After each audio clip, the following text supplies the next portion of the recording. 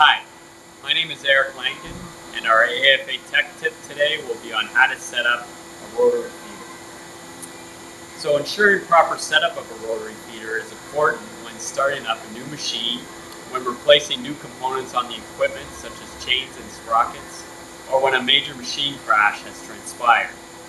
Benefits of setting up the rotary feeder correctly include ensuring smooth operation of the machine, minimizing downtime and product waste, and reduction in troubleshooting costs.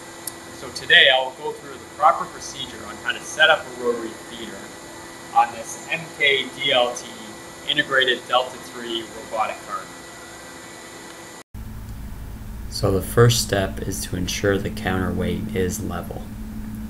This can be done by using the level on the counterweight and also making sure the suction cup arrangement is in a vertical position and is parallel. Make sure the four bolts on the counterweight are tight to mitigate air exhaust. So for the second step, you will need to home the lugs to their home position. If you have a servo-driven cartoner, then you can do this with the HMI. If you have a mechanically driven cartoner, then this has to be completed manually. Make sure that the suction cup distance to the rear lug is by 3 16ths of an inch. This is zero position for the feeder and the lugs. If you have a servo cartoner, now you can set this position to home. So for the third step, you will need to adjust the vacuum valve at the side of the feeder.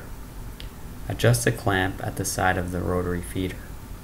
You want to make sure that the suction cups have vacuum to pick the carton and then properly exhaust when the suction cups are at zero position.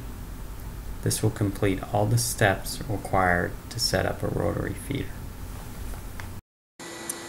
Alright, well thank you for watching our tech tip on setting up a rotary feeder. If you have any questions, please contact AFA Systems um, either by phone, 905 456-8700, or you can find our contact information on our website, www.afasystemsinc.com. Thank you very much.